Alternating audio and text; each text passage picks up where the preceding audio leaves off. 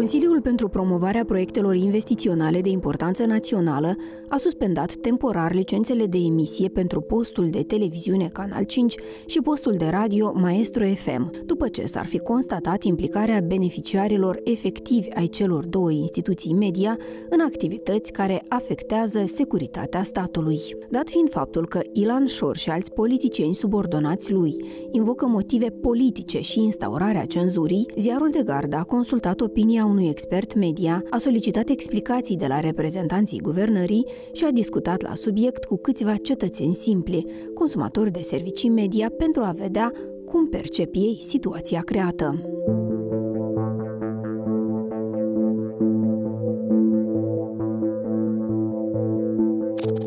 Ilan Șor, cel căruia era afiliat Canal 5, acuză că suspendarea licenței de emisie ar fi venit ca rezultat al faptului că președinta Maia Sandu ar fi fost deranjată de întrebările pe care o jurnalistă de la Canal 5 i le-a adresat în cadrul unei conferințe de presă. Конечно, этот вопрос Маю застал врасплох. И, конечно, этот вопрос послужил катализатором того, что Майя что должна сделать? Конечно же, закрыть оппозиционный canal. Afirmațiile lui Șor sunt însă dezmințite de către purtătorul de cuvânt al guvernului, Daniel Vodă. Asta la fel este o minciună care a fost distribuită și ca o dovadă acestui lucru, noi chiar ne-am documentat, personal am rugat să vedem când a fost trimisă invitația pentru membrii Consiliului ca să participe la ședință și am constatat că această invitație a fost transmisă pe data de 12 martie. Cu alte cuvinte, Consiliul a fost convocat mai devreme decât să aibă loc conferința de presă care a fost prezentată în spațiu public ca cea urmare a căruia s-a luat această decizie. Purtătorul de cuvânt al guvernului Guvernului spune că licențele deținute de Canal 5 și Maestro FM au fost suspendate de Consiliul pentru promovarea proiectelor investiționale de importanță națională în urma unei evaluări a transparenței proprietarilor celor două instituții media. Și ce vreau din start, din capul mesei, să punctez că vorbim despre 15 instituții de stat publice care sunt parte a acestui Consiliu și examinează în detaliu toate proiectele investiționale și nu cele în audiovizual. Noi cu toții trăim într-o situație în care și dimensiunea audiovizuală este parte a războiului informațional la care este expusă Republica Moldova și pentru autoritățile statului este important să cunoască, la fel ca și opinia publică, cine este în spatele unei televiziuni, unui post radio sau unei entități media. Unele posturi au trecut această verificare a beneficiarilor efectivi, iar postul de televiziune Canal 5 și postul de radio pe care l-ați menționat, uh, urmare a examinării de către instituțiile de profil, s-a constatat că beneficiarii efectivi ai acestor instituții media sunt grupurile criminale Șor și Plahotniuc. Cu alte cuvinte, sunt uh, persoane care nu și-au prezentat onest și transparent uh, activitatea și investițiile pe care și le realizează la respectivele holdinguri media.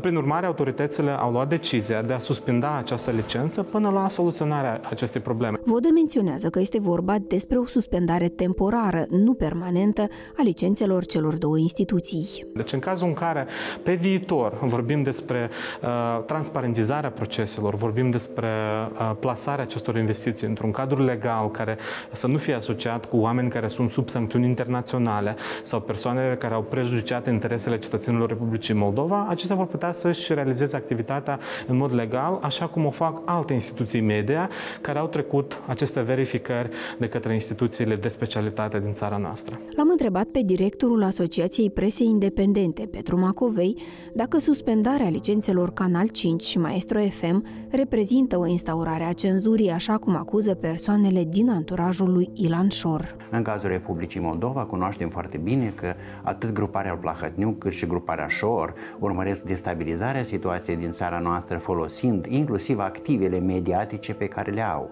Noi din start, chiar de la începutul războiului agresiv al Rusiei împotriva Ucrainei, am susținut părerea că ar trebui să fie blocate activele tuturor persoanelor care cad sub incidența sancțiunilor europene și internaționale, inclusiv pe segmentul mediatic. Deci, din punctul ăsta de vedere, lucrurile mi se par clare. Chiar dacă, bineînțeles că opoziția spune și unii colegi jurnaliști de la cele, aceste instituții media care au căzut sub incidența acestor măsuri restrictive din partea statului, eh, reclamă cenzura. nu este nici pe departe așa, trebuie să înțelegem foarte bine că aceste resurse mediatice sunt folosite împotriva securității Republicii Moldova și uh, proprietarii acestor televiziuni utilizează pe diverse căi uh, aceste companii în scopul inclusiv pentru spalarea banilor. Dacă guvernul și un expert media au justificat decizia de a suspenda temporar licența celor două instituții media, cetățenii simpli, consumatori de servicii media, au păreri împărțite atunci când sunt întrebați dacă decizia a fost una corectă. Nu știu, că era canalul 5, noi ne uitam acolo și filme ne uitam și noutățile ne uitam. Parcă n-am văzut eu așa să afecteze statul. Mai era acolo câte un cuvânt așa, da? Eu știu. Atât timp cât aceste canale sunt finanțate din bani ilegali, ei n-au ce căuta în sistemul informațional din Republica Moldova. Oponenții politici susțin că aceasta ar fi cenzură. Părerea dumneavoastră care este? Păi lasă oponenții politici să vină în Moldova și aici să demonstrează că este cenzură. În toată informația care se postează, cum am spus, are influența asupra persoanelor. O informație greșită, auzită de o persoană, ei se răspândește foarte, foarte repede. Și adică pot să se întâmple careva evenimente care nu ar trebui să fie. E foarte bine să de închis pe toți aceștia care dețin nelegitim și prin... Da, nu legitim dețin aceste canale. Posturile nu ar trebui să închidă, dar să le pui o recare ca condiție, cum la toate posturile. Fiindcă unul iubește să vorbească mai mult rusește, să uite un canal, un film, ceva, unul moldovenește, un românește acolo. Sunt lucruri interesante, dar asta că se implică altă politică acolo în situația asta, asta e greșeala la fiecare și trebuie cu acei de luat măsuri, dar nu cu tot postul că nu vinoveți acolo nici jurnaliștii că rămân fără lucru și lumii mult fără lucru. Trebuie făcut într-așa mod că toți să aibă părerile lor. Spuneți-ne, vă rog, sunteți de acord cu astfel de măsuri sau nu și de ce? Da, sunt de acord.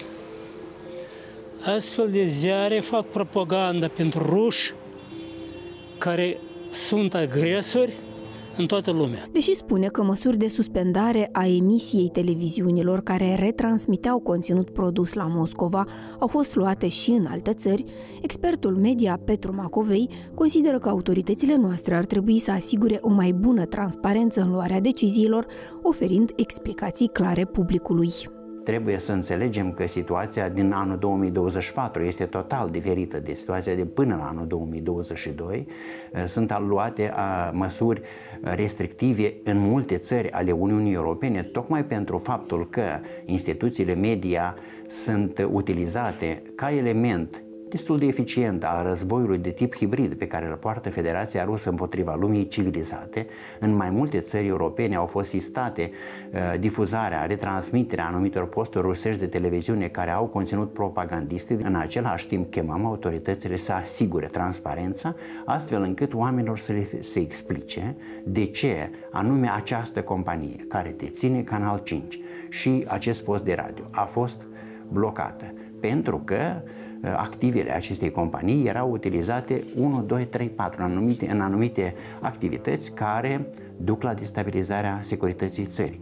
O mai multă transparență ar asigura cu siguranță o mai bună înțelegere a acestor acțiuni din partea statului.